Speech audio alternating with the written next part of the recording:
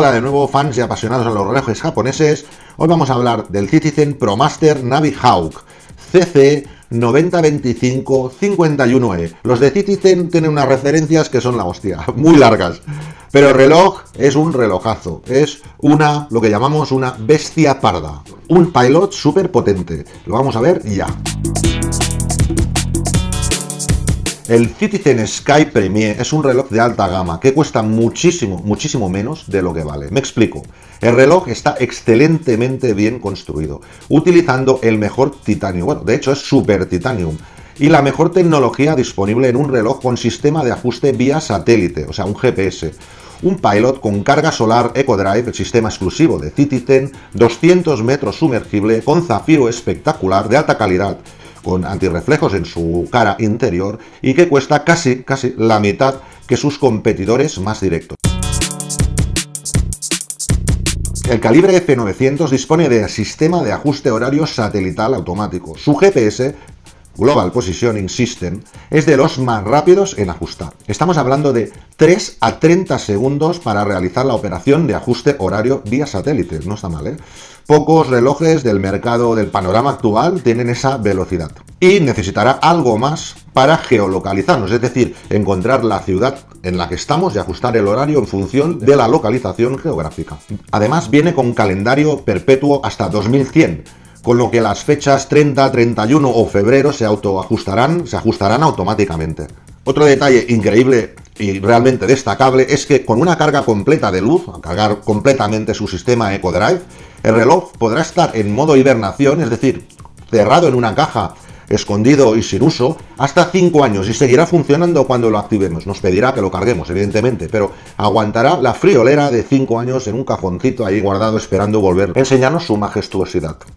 Una pasada de sistema EcoDrive que carga no solo con la luz solar, sino con, cualquier fuente de luz artificial con cierta potencia. El reloj es Perfex, con X, que quiere decir resistencia magnética GIS clase 1, detección de impactos y protección del módulo y función de corrección automática de la posición de las agujas. Aunque es un pedazo de reloj, una flipada de reloj, vaya, su tamaño de caja es de 47,1 milímetros. Su ligereza es extrema, y obtendremos máxima comodidad. Este es un reloj súper ligero, tan solo pesa 125 gramos, que por ejemplo podemos compararlo con otro top de Super Titanium, en este caso de Titanium, también DLC, ambos son DLC con GPS, con ajuste horario satelital, como por ejemplo puede ser un MRG.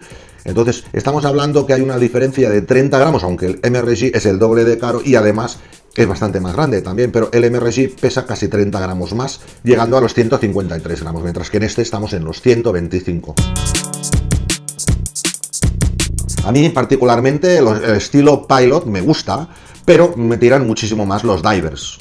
No diré los strongman, pero los divers. Pero he de admitir que este reloj, mm, este Citizen Navihawk me ha cautivado. Es precioso, atractivo, deportivo y la calidad es muy, muy, muy alta, muchísimo. Utilizando solo dos tonos, el propio del acabado DLC negro, que recordemos no es tan negro, es una especie de antracita, es un gris oscuro con tonos de marrón precioso, y utilizando el blanco o y o grises en los acabados, marcajes, etcétera, etcétera. Ofrece una imagen imponente y muy, muy, muy potente. El bisel, con regla de cálculos aeronáuticos, está muy logrado, es muy guapo y realmente tiene una, una sobreinformación brutal, pero nos ofrece una lectura intuitiva y rápida. Igualmente puntualizar que me, ha sorprendido este reloj, el acabado negro DLC, porque realmente es una antracita, como hemos comentado antes, pero es realmente muy oscuro, es casi casi negro. La correa es impresionante. Podemos ver perfectamente cómo utiliza un acabado brillante en algunos de los eslabones intermedios y mate, y le da un toque de elegancia absoluto. Es un reloj de nivelazo, de altos vuelos, como diríamos. A nivel nocturno, el Lumibright aplicado es azul, decente, correcto y muy, muy, minimalista. Eh, lo vemos, pero quizás, quizás, para mí es el único pero que me gusta mucho el tema nocturno, el tema lumen y tal. Quizás podría tener un poquito más de alegría. Pero es el único pero. Y es, el pero es de noche cuando dormimos, así que no se va a notar.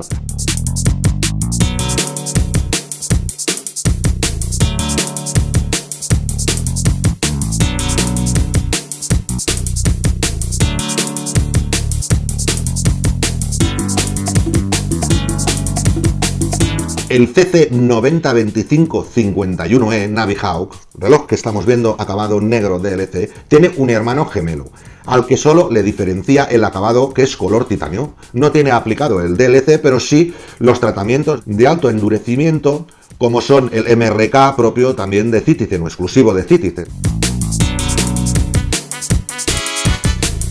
Es un reloj impresionante. La calidad de la esfera y acabados en general es realmente un excelente, un muy alto compromiso entre lo que vamos a pagar para esta pieza y lo que vamos a obtener.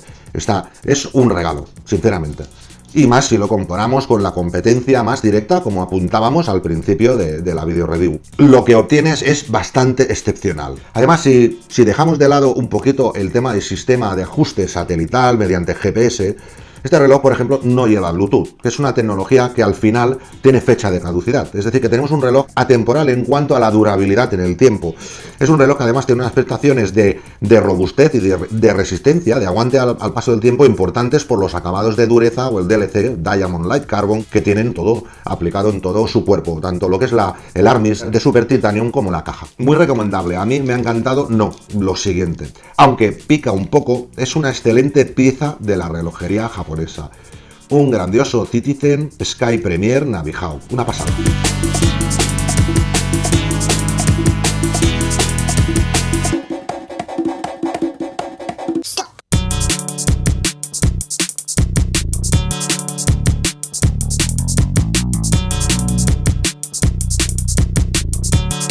Bueno, se ha acabado la video review rápida. Gracias por estar ahí. Bienvenidos a los nuevos followers, a los nuevos seguidores que se van sumando a este canal de YouTube. A ellos decirle que en relojesmadeinjapan.com, en la web, publicamos reviews, noticias, actualidad de los relojes japoneses de G-Shock, Seiko, eh, Citizen, como no. Y también vamos a empezar ya en serio ahora con Orient y Orient Star. Nos vamos viendo. Hasta luego.